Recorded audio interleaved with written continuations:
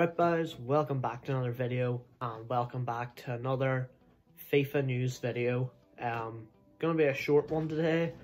EA have only brought out one thing in the last day, only confirmed one thing, but we know the crack by now. Some of these can be really short, some can be really long, depending on how much news there is. We had a long one yesterday, so obviously today not a whole lot going on. But yesterday, EA did confirm the ratings for the women in FIFA 21. The top 15 have been released, so let's have a look at them. So, what a surprise. Megan Rapinoe, number one. Um, 93 overall, ridiculous.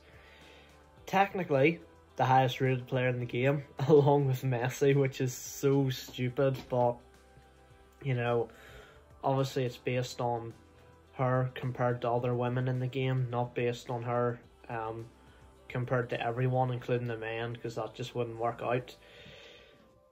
We we've known for ages she's regarded as the best woman footballer in the world. She's won, I believe, the women's version of the Ballon d'Or.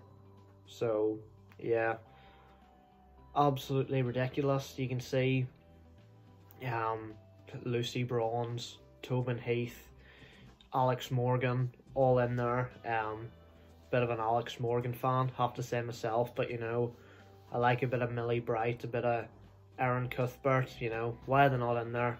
Shame. But yeah, like I said, lads, that is it. The stats aren't even on the cards. So that's really it, lads. Um, the women's ratings are just ridiculous because they're compared to each other and some of them stand out so much but disappointing the stats aren't even on the cards. Like could have had a bit of a look at them but nope. So last thing we're going to finish up with lads. Yesterday EA put out a tweet just to advertise that Thiago Alcantara has joined Liverpool. Am I happy about it? Yes I am. Come on. Um about time we started making some signings.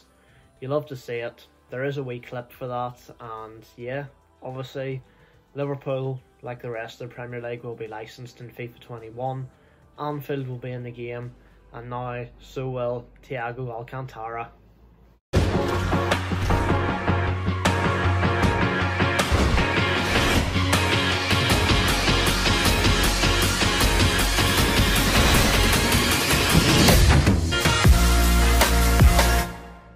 That is it.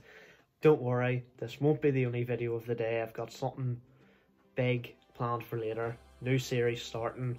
Watch out for it. So, thanks for watching. Hope you enjoyed it. And I'll see you next time, guys. Cheers.